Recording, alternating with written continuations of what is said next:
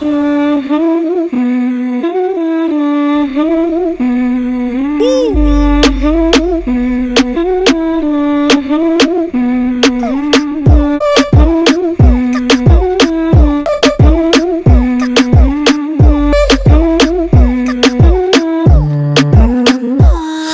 की तरह तेरी ये बारी